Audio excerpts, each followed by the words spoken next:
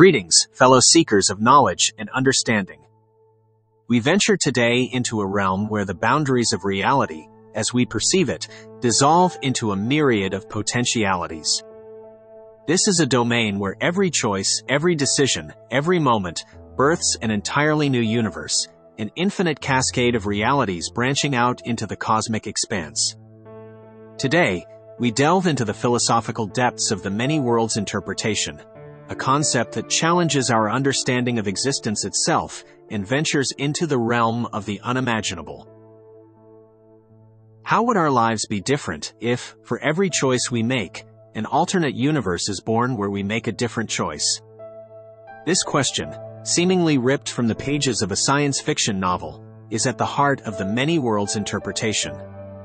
The many worlds interpretation, initially proposed by physicist Hugh Everett in 1957, suggests a radically different way of understanding our universe.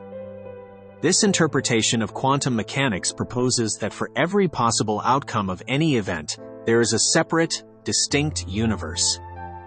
It's the idea that every moment is a crossroads, and the choices we make not only determine our path, but create an entirely new universe where the alternative choice was made. The many worlds interpretation dares to say that there isn't just one universe, but an infinite number of universes, each one slightly different from the other. It is a concept that shatters the notion of a singular reality, replacing it with an ever-expanding cosmic tree of possibilities. This theory is not just about understanding our universe, but about redefining our place within it. The philosophical implications of the many worlds interpretation are profound. If every choice creates a new universe, then every decision we make carries the weight of creating an entirely new reality. It suggests a universe where every possibility is realized somewhere in the cosmic expanse, a concept that challenges our understanding of free will, determinism, and the nature of reality itself. In the philosophical discourse, thinkers such as David Lewis and David Deutsch have drawn upon Everett's interpretation. Lewis, in his work on modal realism, argues for a plurality of worlds, each as real as our own.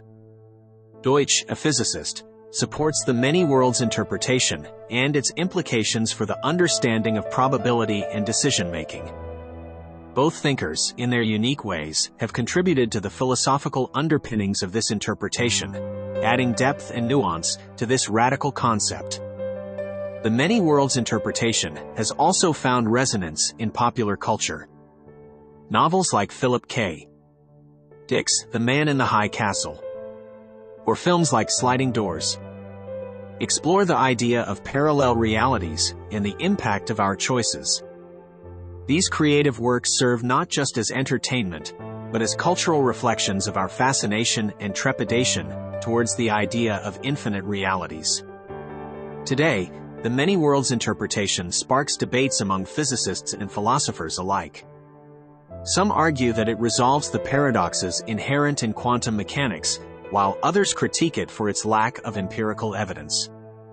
These debates, however, do more than just challenge the scientific status quo. They push us to question our understanding of reality, forcing us to confront the mysteries of existence head-on. The relevance of the many worlds interpretation extends beyond the realm of philosophy and physics. It challenges us to reconsider the weight of our choices and the ripple effects they might have in the cosmic expanse. It invites us to contemplate the vastness of existence and the myriad possibilities that lie within every moment. In our exploration today, we have traversed the boundaries of reality, venturing into a realm of infinite possibilities. The many worlds interpretation challenges us to see beyond our singular reality into a cosmic expanse of boundless potential. It serves as a reminder that the universe is not just a stage upon which we perform, but a cosmic dance of possibilities, forever unfolding in the grand expanse of existence. I thank you, dear audience, for your intellectual engagement and your willingness to journey into the depths of philosophical exploration.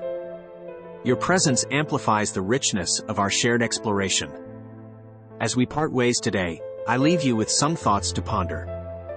How does the idea of infinite realities impact your understanding of free will and determinism? How does it affect your perception of choice and consequence? And in a universe of infinite possibilities, what does it mean to make a right choice? As we anticipate our next philosophical journey, let these thoughts guide your introspection and ignite your curiosity. Until we meet again, may you continue to seek knowledge, question norms, and explore the boundless expanse of existence. Remember, the universe is not just something that happens to us. We are an integral part of it, participants in its infinite dance of possibilities. So let's dance with curiosity, with courage, and with an open mind. Until our next philosophical journey, farewell.